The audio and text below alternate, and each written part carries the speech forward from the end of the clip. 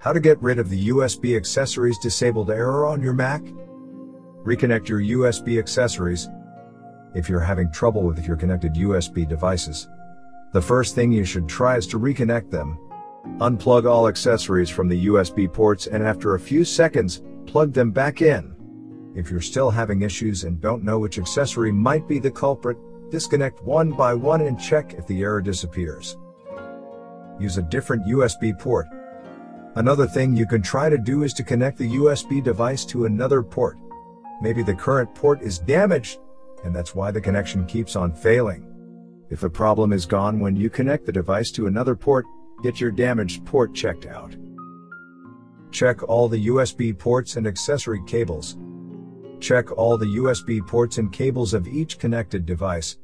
After some time dust and other debris accumulate in the USB ports, which can result in the device not connecting or not being detected. Carefully check the ports and clean their insides. We recommend using a small precision tool for best results. If the USB ports are clean, check the cables of the accessories. Restart your Mac.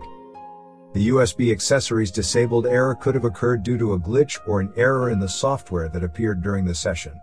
A restart will get rid of any minor bugs and glitches and clear out your Mac's temporary memory. Update your Mac. Click on the Apple logo and select System Preferences. Then, go to Software Update, wait while your Mac searches for updates. If found any, click on Update Now. Reset System Management Controller on your Mac. The System Management Controller is responsible for managing certain parts of your Mac's hardware like the battery, USB accessories, etc. Resetting the SMC might help you get rid of the error related to the USB accessories. This method is for Intel-based Macs only. To reset the SMC on your Mac, visit our guide linked below for more information. Reset parameter random access memory or non-volatile random access memory. Shut down the Mac. Turn it on and simultaneously hold the option, Command, P, and R buttons.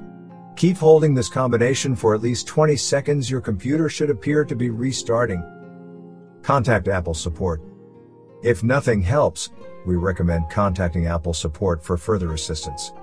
Maybe they could help you solve the problem with the USB ports, Hopefully, this video provided the information you were looking for. If you're using a Mac computer, we would like to suggest scanning it with Combo Cleaner. It will check your computer for malicious software infections and advertising supported software.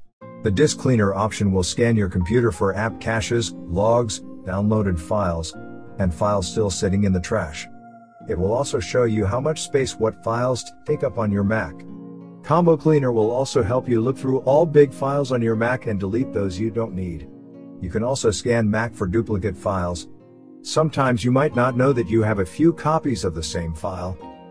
A privacy scanner that will help you remove cookies, cache, browse history and more.